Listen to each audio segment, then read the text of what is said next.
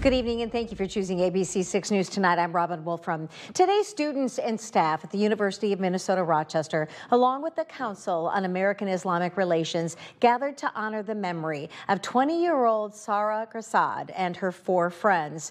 They were the five women, ranging in ages from 17 to 20, who were killed in June after 27 year old Derek Thompson ran a red light while trying to avoid being pulled over for reckless driving. He's since been charged with 10 counts of criminal vehicular homicide, as well as federal gun and drug charges.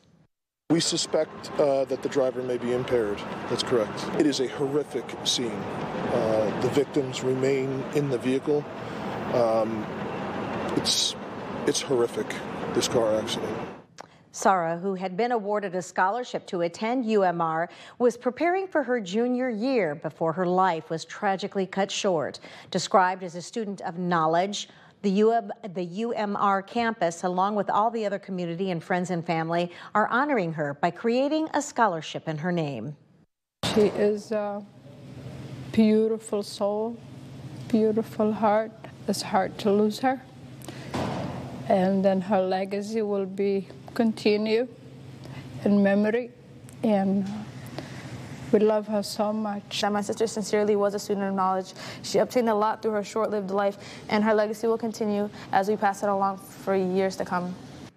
The University of Minnesota Rochester will be raising funds for Sahra's scholarship in November during their Give to the Max event.